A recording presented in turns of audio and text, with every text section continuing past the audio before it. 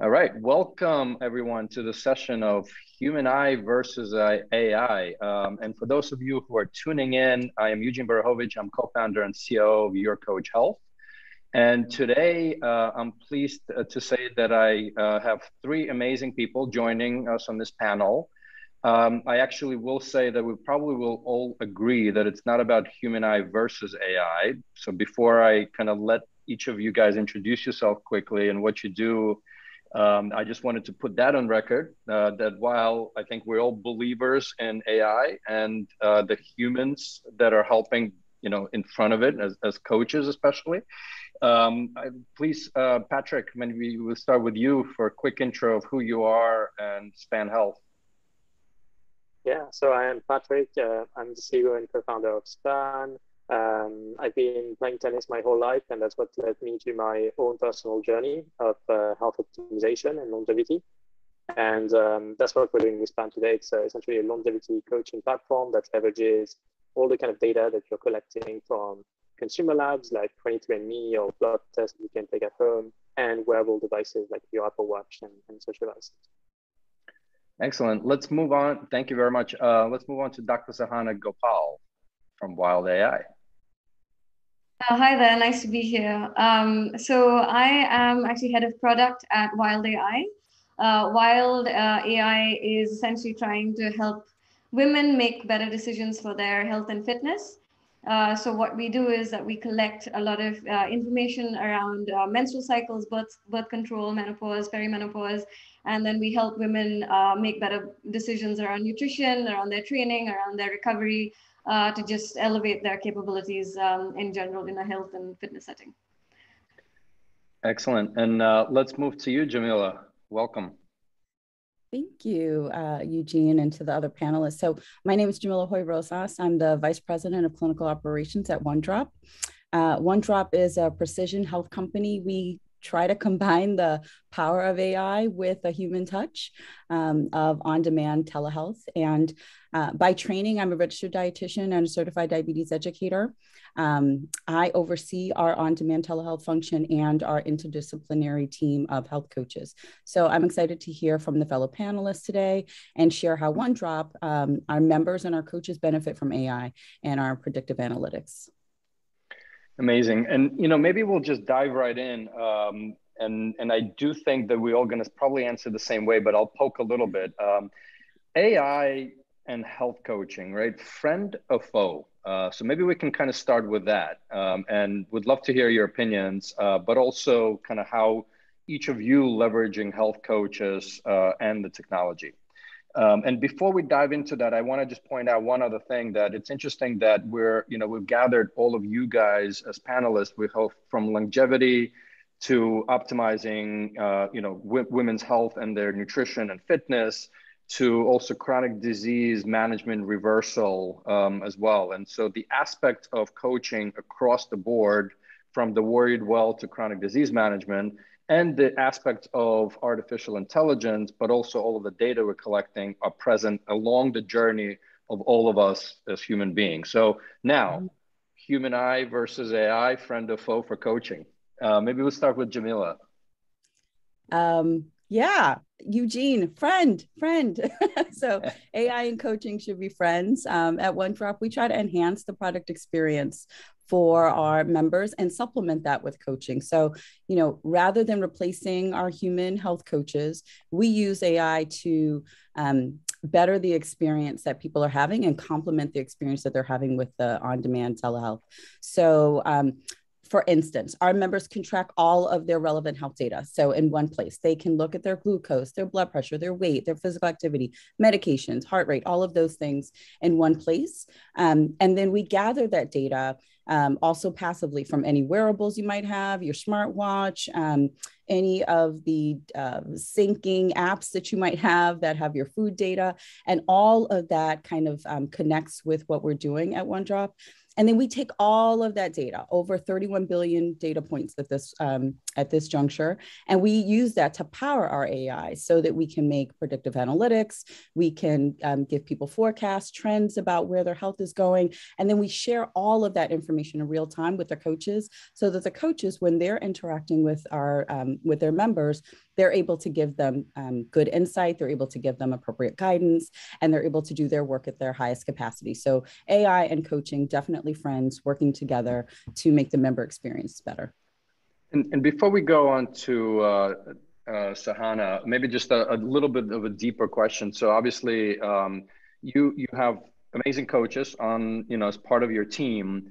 Um, as they're doing the daily work with the patients and health consumers, um, how much are they augmented by the technology, these coaches, um, uh, versus the intuition, the motivational interviewing, the you know the the the things that our coaches excel at? Um, so maybe just uh, for our listeners and view- viewers, both coaches and consumers and others that are listening in. Yeah, absolutely. So you're right. The coaches are awesome. they are offering a really personalized care experience to every member, and that they're drawing on their intuition, they're drawing on their professional expertise, um, utilizing um, motivational interviewing and other behavioral health strategies.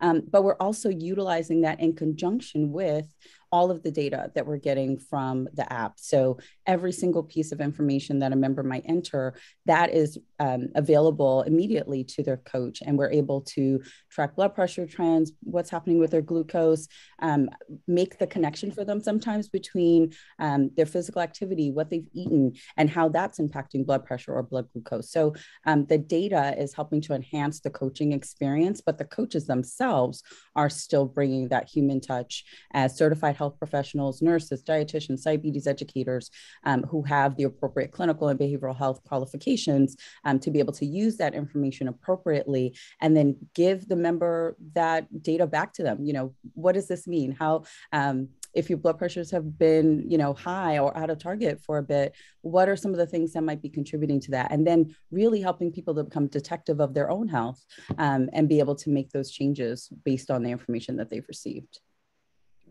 Thank you. Um, let's let's go with the same question. You know, friend or foe, uh, Sahana.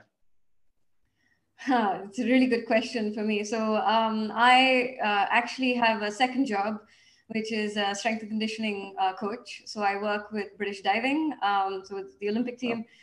And um, yeah, for me, it was uh, bringing in an app like Wild, which is uh, essentially trying to solve a problem and be a coach in itself um, by delivering data insights uh, to the athlete or the woman who's using it. Uh, for me, it was kind of like, oh, like how how how do I think of this as, as a as an as a coach, like a like an actual strength coach.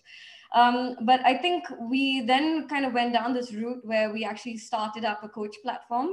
Uh, through Wild, and um, that allows now the athlete to connect up to their coaches uh, and their coaching teams. So whether that's a nutritionist, physiotherapist, uh, technical coach, whoever it is, whatever sport they play, um, or a personal trainer even, uh, we're able to now deliver uh, insights in terms of uh, menstrual health and um, you know what birth control people are on, what that means for them in terms of their performance and how they actually respond to that kind of treatment.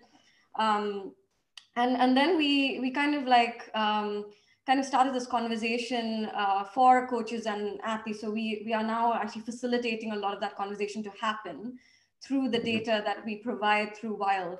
Uh, so for me as a coach, actually, it's it's an assistive tool, and the way I look at it is it is an assistive tool where I can actually make uh, and help discuss things with my athletes uh, and you know kind of like look at trends together which which kind of like makes uh, menstrual tracking uh, a part of performance uh, for the athlete as well. And they start to see it like that. Um, and i think for male coaches specifically uh, it becomes uh, much easier to start the conversation when you put it in in the sense of a a performance metric like nutrition or sleep or uh, recovery or whatever else. So, so yeah, I think um, in terms of how the data is is kind of shown and the, the ability to kind of uh, discuss that together, it really, really kind of helps enforce a relationship. And it's not an AI versus uh, coach, but it's more of a, an assistive tool, uh, kind of like in your toolbox uh, to start using it and then and kind of progress that relationship with, with your athlete. Excellent.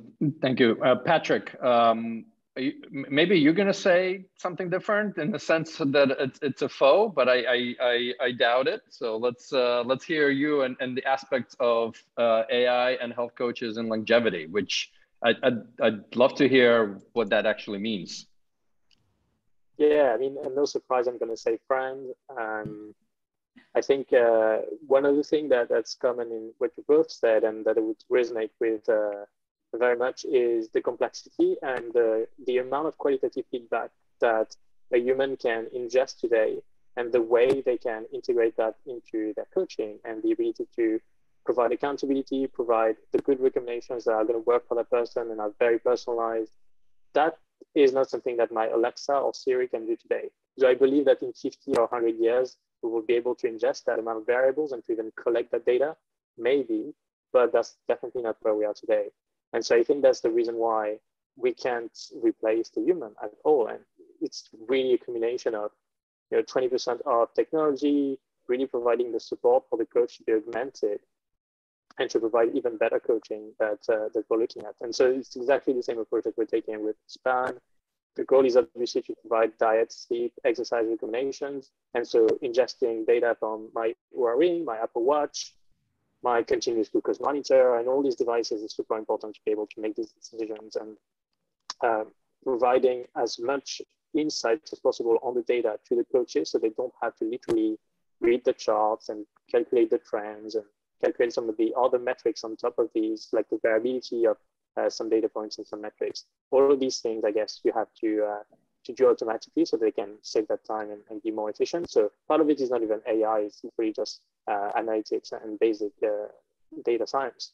And part of it is going to become more and more AI as we have a, a bigger data set. But I would say that we're not even very much there in the sense that we we can predict some things, but it's fairly simple. And uh, as we grow our data set, we'll definitely be able to, to call this with AI and machine learning.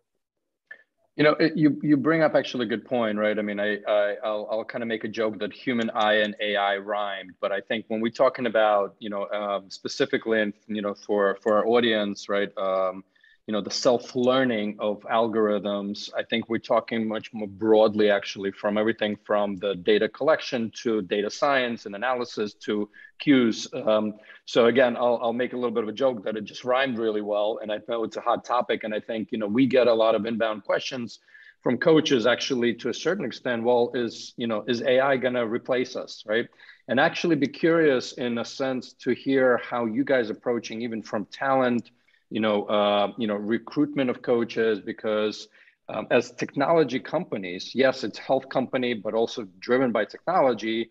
I'm curious if you get asked those questions and how do you uh, even convince uh, or what are your comments back to the talent that you're working with on AI and the question of will AI replace me as a coach? And maybe uh, Dr. Sahana, let's start with yourself. Well, uh, I think when you establish relationships with with athletes, um, I think you know they. Uh, I think both sides need to be educated in terms of what that data actually means as well. So I feel like um, unless the person that you're delivering sessions to or you're interacting with on a day-to-day basis actually understands that the AI is all they need, um, then then sure, like an AI person would uh, replace me as as a coach kind of getting them to hit the right intensity in the gym for example. Um, or trying to kind of assess like uh, kind of movement patterning and exactly what what positions they should be in that's optimal for them. Um, i think it is going to be a long while away um, and the sure the percentage of how much i use ai would potentially increase over time uh, but as long as I, I am secure in my relationship with the athletes, I, I can build those relationships, um, I would always place it in a, again, like I say, a toolbox, uh, and then and then proceed from that from that direction. So. It's it's a very good point, right? Um, I think uh, a key component to health coaches uh, is a relationship driven profession, right? Um, it is about getting to know you, your behaviors, you know your insights you as an individual. Um, and while you know there are probably sort of uh, some uh, i've actually was listening oh, this was a while back on uh, on clubhouse there was an ai um, uh, ai woman uh, that apparently the developers of that ai woman got threats because they changed the voice or some look from uh, people that were communicating with this person. So they there there are established relationship with this uh, you know AI bot, which is kind of crazy. But you know, mm-hmm. let's go back to um, uh, maybe uh, uh, Jamillah. Let's jump to you. I know uh, you guys have been also hiring coaches. Um, and and curious if that came up right as far as some of those discussions with onboarding talent around the use of the technology to augment them and to help them uh, scale? Yeah, I mean, I think it's a reasonable concern. Uh, we have seen automation replace some human jobs, but I think with coaching in particular, there's really no substitution for what we just described that relationship the rapport building, um, that human connection in healthcare to make people feel like they've got a human advocate who's on their side, who's working for them and, and helping them to understand how to better care for themselves. Um, you know, I, I want to clarify like at One Drop, we don't feel like we're offering AI based coaching.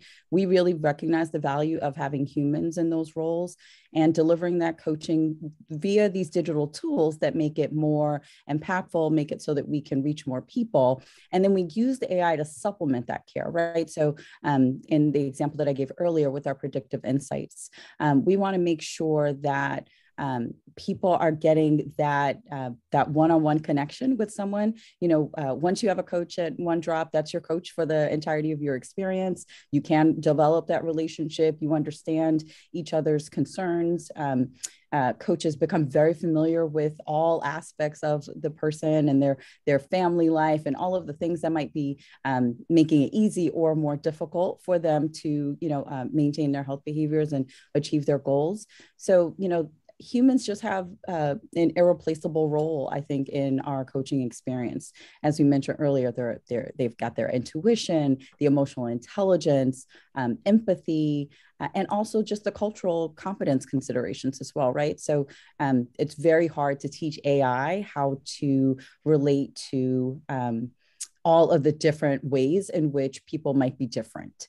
And um, and coaches can do that. We can do that on a human scale we can train that. We can teach that. We can learn that over time. And that i think is one of the most difficult things for um, ai to replace is that cultural um, competence lens yeah, you know, we're at your coach. If you look actually even at our logo, it's the Hito symbol, which is a Japanese symbol for human. So the whole point of this is we all need a human being to lean on, right? Mm-hmm. Um, and I think that's kind of at the core of our philosophy. Uh, Patrick, same. I know uh, you're you're a young company and growing, but any any discussions uh, that you have had with health coaches uh, around this topic? Kind of.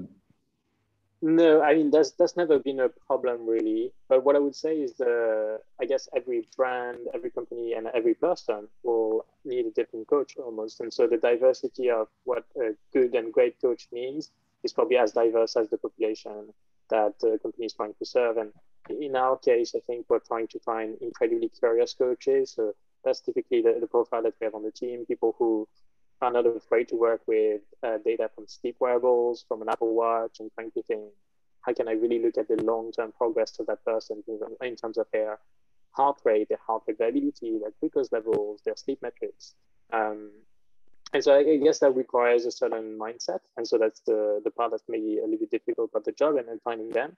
Um, but the coaches that we have today are incredible and, and, really good at that job, which is very specific to what we do and uh, even the target segment that we're going after today, but maybe will not be the same years. And, and, you know, you brought up uh, the kind of the individuals that you look for to join the team. Again, as a young startup, Patrick, right? And I know uh, Sahana, I know One Drop is a bit uh, you know, it's been around uh, longer. Uh, you know, what do you guys, uh, I mean, from a skills perspective, right? Because again, there's a lot of health and wellness coaches tuning into this. Um, from a skills perspective, um, obviously the core health coaching skills and experience. But I think, you know, uh, we get a lot of questions of, from coaches, you know, how do we use a lot of these technologies and tools, right? Um, how do we advance our own knowledge around it? So maybe stick a little bit on the talent side. What do you what do you guys individually look for? Uh, you know, Patrick already kind of went into that. When you when you are looking to bring on talent from an experience with some of these technology technological tools, and I see Jamillah, you're unmuted yourself, so you're you're you're it. You'll go first. Uh, just preparing myself, Eugene, just in case. Yeah, yeah. Um, but I think uh, you know uh, Patrick's comment about intellectual curiosity is so important. Um, you know, we really are looking for people who who display that in their um, in their interview process. The cultural competence that I mentioned earlier also critical. Not necessarily having worked with every sort of person that you might have, um, you know, that you could have possibly worked with, but having that curiosity about cultures, having a curiosity about learning more, um, wanting to increase your cultural awareness, being the sort of person who might travel or try new foods, you know, just kind of being open to the variety of human experience, I think makes um, for a great coach. And as we, you know, I mentioned earlier, empathy, right? You know, we, we noted AI can't mimic empathy, right? Um, at the core of all of that is the ability to develop trust with someone, to be able to listen to them, to express genuine understanding. Um, so we need people who kind of are able to display those skills, I think, in the interview process as well um, and the emotional intelligence, as, as I mentioned earlier, there's there's a lot of emotions around um, coping with a chronic illness and how you know how are you going to be able to manage all the whole uh, time and energy burden of living with a chronic illness, and especially if you're a full time worker or you know so all of these different things, people need. Um, they need people who can respond to them with empathy, who can uh, understand the emotions around chronic disease self-management and be able to, you know, respond appropriately to their frustrations, their excitement, their fear, whatever it might be. So, you know, we look for those those key qualities in in our applicants for these sorts of roles.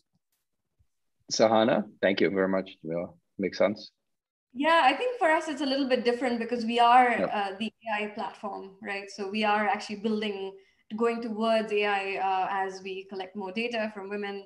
Uh, but I think our um, our ask when we when we look at our coaching platform, um, I, feel like it's it's coaches who want to learn and it's coaches who want to educate themselves around uh, female physiology and how you know they see women uh, not as small men and as we say a lot in the company um, and and actually have an interest and a scientific interest and a uh, kind of a, an ability to learn and, and want to learn about um, how to apply uh, different types of recommendations when they need them most. So I feel like because uh, the women in the app are obviously looking for uh, something to help them. Uh, I feel like if the coaches get on board with that, uh, then that could be a really, really constructive relationship. And that's what we try to provide uh, through the app. So we provide a lot of education around uh, what being in a certain physiological state for a woman means. Uh, whether that's a perimenopause, for example, so why, why those symptoms actually arise and what we can do about them in terms of exercise, in terms of food, uh, in terms of nutrition as well. So um, yeah, I think I think it, it actually just attracts a, a certain type of curiosity uh, in a coach uh, when they're looking to kind of help their athletes with their with their journey.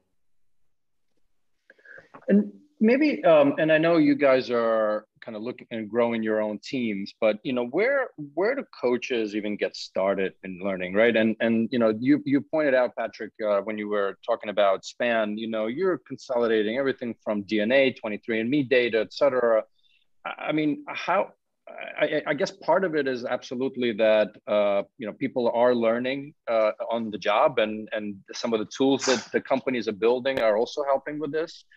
Um, and so maybe any hints where where people can actually or health and wellness coaches can start learning around a, lot of these technologies ai do we have room for more education uh, within these programs that are launched there right? I mean obviously a lot of it is focused on everything from motivational techniques to just behavioral uh, change uh, agents. But any any thoughts or, or kind of is there room for more education and how and where aside from this conference, of course. Who wants to go first? Uh, maybe I'll, I'll jump to Patrick while I see your connection is somewhat stable.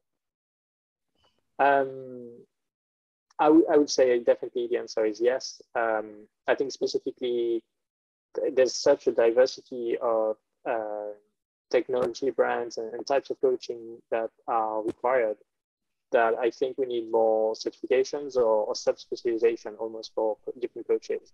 And so that's one of the things that we are looking at ourselves. We are looking at potentially building a, a training program that would uh, specifically be adapted for the kind of uh, data and tools that we work with.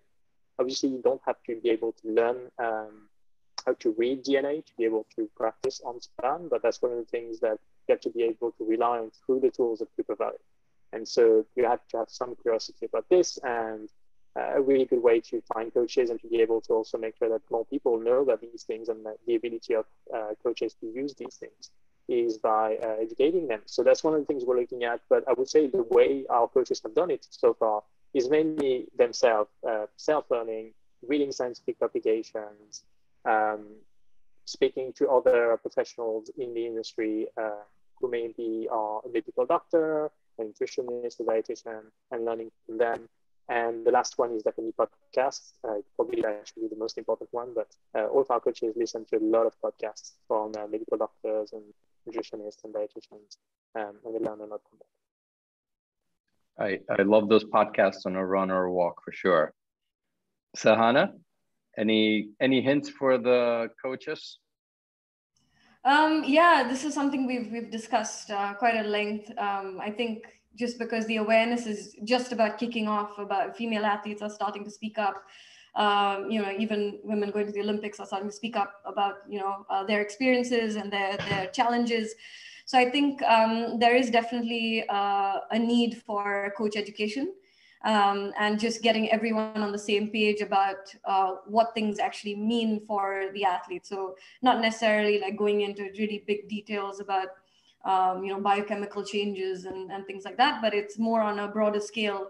Uh, essentially, how to tweak certain things that can add to performance. So, say if your athlete is suffering from menstrual cramps, um, how do we get about preventing that um, on a recurring basis like can we actually reduce the onset of those cramps uh, of pms or uh, you know symptoms that you start to experience at perimenopause? Are there any nutritional changes that you can consider um, and trying to develop uh, kind of uh, a coach training uh, of, of sorts uh, specifically for females who exercise and, and train? Thank you very much. Jamillah Yes, uh, similar to what Patrick mentioned, you know, we we have been uh, we're working on building out a, a, very kind of comprehensive training program.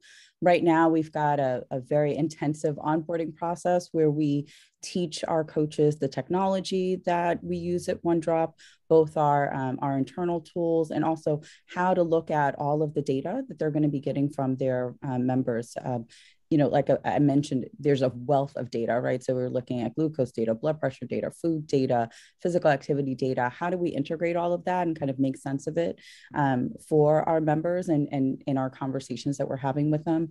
So we do a lot of onboarding there, but we're also looking to create a, a comprehensive um, training program that we could um, you know offer throughout the year uh, to any new hires we also um, really want people to draw upon their own uh, credential training. So we've got nurses, we've got dietitians. They are working together as an interdisciplinary team. So if there's someone who has a question about a more complex case, they can talk to a colleague. They've got a lot of kind of professional expertise amongst them, years and years, decades and decades of professional expertise. So they, they can bring that to bear um, and, and uh, do case conferencing together and learn from each other that way. We also just commit to weekly, monthly trainings and meetings to go over topics of interest. So um, I think, you know, you definitely have to have a great onboarding program in place. You have to be thinking about your long-term strategy for um, onboarding and training new coaches and also keeping your current coaches up to date and helping them to communicate with each other and strategize together around um, uh, you know how to keep up their professional skills and how to stay on top of a very rapidly expanding evidence base. Even all of the information that's available about coaching i i, I have like a little coaching alert thing on my uh, computer. There's like 10 new articles you know every day. So uh, just staying yep. on top of the evidence base for coaching is, is a it's a little bit of a full-time job right there you know, you, you actually brought up a, a very good uh, word, evidence, right? Because uh, I've, you know, people that know me, I've always been saying in the past, kind of health and wellness coaching has been considered cuckoo voodoo science, um, but there's been a lot of evidence coming through clinical trials with and without health coaching and the benefits of it. You know, and I think um, a key component to that is actually a lot of the tools that the coaches are starting to use, right? Um, and adding on um, you know some elements of you know smart uh, smart algorithms. I don't want to necessarily call them AI.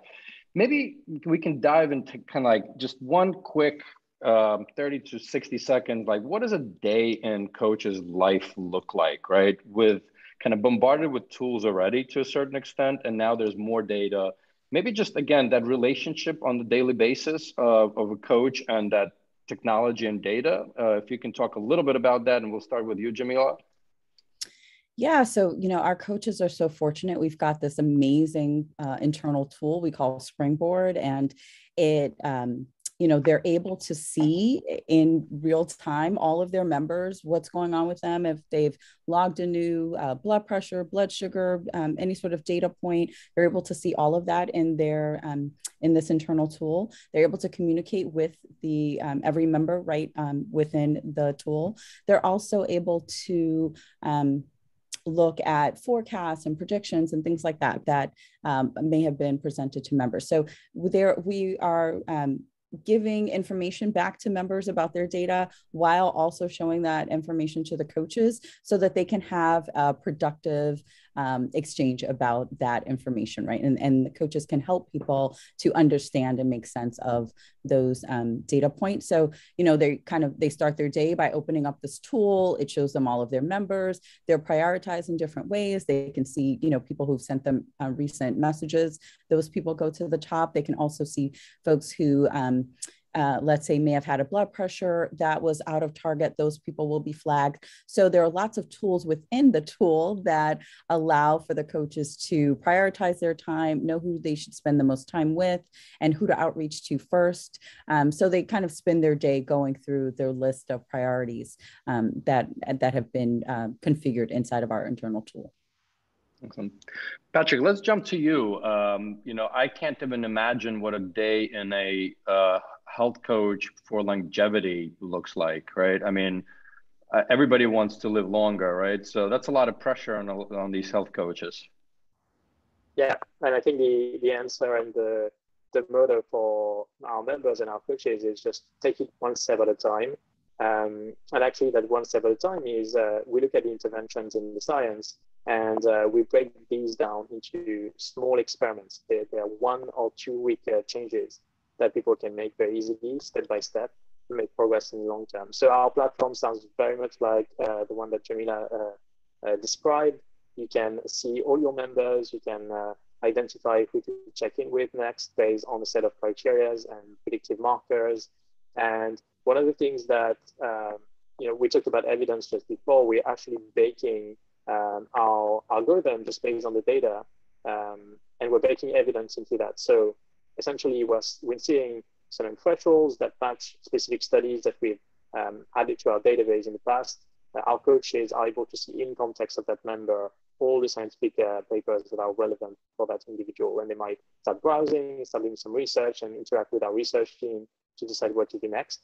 Uh, but actually more and more we're baking into uh, the different steps and those recommendations and the interventions in this science with the statistics of how those experiments have performed in the past for SPAN members. And so that's giving an indication to the coaches in terms of increasing someone's deep sleep, for example, making sure that the overall sleep is improving over time, that this experiment might have worked on the majority of our users in the past. And so that's a good first step maybe for someone who's just joining. In the future, we want to you know, obviously move to the next step, which is uh, contextualizing this uh, recommendation, making sure we can make it based on the individual and all the variables we have on them. So that maybe you join tomorrow and I'm joining tomorrow, but actually if we both want to improve our deep sleep, we would recommend different interventions based on those uh, variables in this context. Cool. Sahana, since you mentioned earlier that you guys are kind of more AI first and, and the leveraging technology, what does a day in a you know trainer coach look like at Wild AI? Um, yeah, so I think with our uh, coach platform, what what we try to do is essentially alert the coach with anything that's happening with the athlete. So uh, coaches get alerts on um, you know athletes log the period. If the period is late, that's that's a that's a big one. Just because we know that a, regular cycle is a sign of good health, so we want to be able to make sure that uh, the the coaches are alerted on those uh, situations. Um, we also kind of provide uh, kind of alerts in the sense that we tell the tell the coaches when athletes are experiencing certain symptoms for a long period of time or uh, really severe symptoms as well. And that essentially sets up um, a kind of conversation between coach and athlete. So uh, allowing them to discuss uh, a part of the problem that they had never really discussed before. And that, that's really kind of where we fit in. We're trying to kind of get an overall picture without missing the physiology piece uh, of the puzzle um, uh, for uh, females who, who train. Excellent. So in the time that we have left, I have one more very, very important question. I'd love to hear each one of you guys how this relationship of health and wellness coaches with technology and you know even deeper AI will be transformed in the next, let's say, five years. I'm picking a random time frame. Any any specific thoughts? How you know wh where's that balance going to lie from each of one of you guys' perspectives? And uh, maybe let's start with Sahana since you just finished off. Yeah, um, great question. I think um, we'd be able to use those insights uh, as, alongside a much broader scale. Uh, so what I'm hoping is that as we collect more data, um, and the field of female physiology, I'm not sure you're aware, is really messy at the moment. Um, you have a lot of intra-individual variation, you have inter-individual variation, and you know just kind of dissecting what actually happens across a menstrual cycle and where performance is the best and how you kind of should you periodize performance uh, training according to your your menstrual cycle or not. All these are really big questions, and they're hotly debated at the moment just because the research isn't quite there yet. Uh, but we, what we do know that the more data points we do collect, uh, and we are uh, attempting to build the largest uh, database in, in uh, female exercise physiology. Um, we, we do hope that we can start to provide that information um, to similar sets of people, whether that's ethnicity, whether that's age group, whether that's uh, training level. Uh, and then we, we see that kind of application of the recommendation, uh, being able to help the coach uh, make a better decision uh, with the athlete. Uh, and that's really where I see it going. I don't see it kind of taking over uh, an individual's kind of coach, but I see it as, a, as another uh, point of conversation that kind of stimulates um, uh, kind of yep. a, a way forward, really.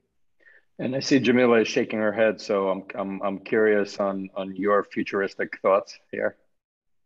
Yeah, no, I I, I totally agree. I don't think um, I don't think AI is going to take over, so to speak. I think we're just going to be able to work better together.